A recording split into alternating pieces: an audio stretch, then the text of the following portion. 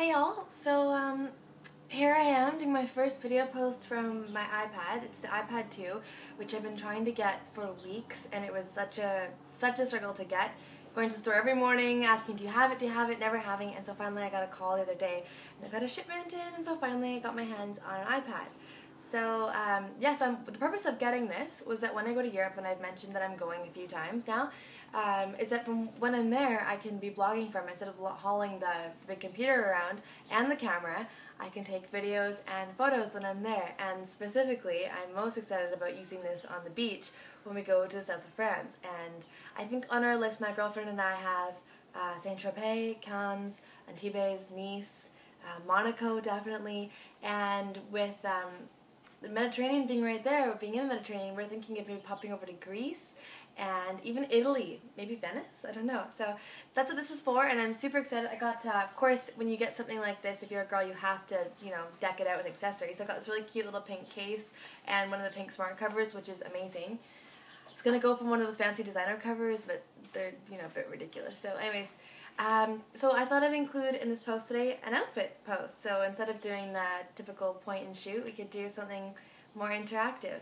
So um, I have a meeting a little later on today, and I've been dying because it's warm out now to pull out the new um, the jumpsuit that I got from Guess for doing the, that what I wore as the hosting gig, and so I thought I'd kind of do it up a little bit uh, more professional with a jacket. So here we are. so I have it with my Wilfred blazer. I think it looks pretty professional. Of course, I've hiked it up a little bit, so not too much skin, although you just got a good peek there. But um, yeah, I think it looks pretty professional and good. Of course, I've got uh, some cute shoes on, some Via Spigas, and uh, check out these new shades. These are um, H&M. I'm obsessed. I think they're awesome. They're like, I love a good big aviator.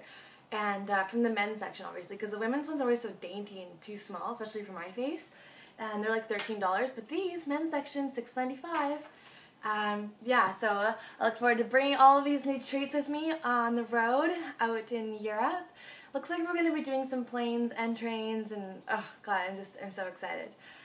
Um, and excited to bring you along for the ride. So I hope you're going to have a great long weekend, and um, let's, have a, let's have a guest before we go. Marie! Marie's been just dying to say hello, so there we are. There she is. The little girl. She's been such a monster lately. Anyways, have a great long weekend.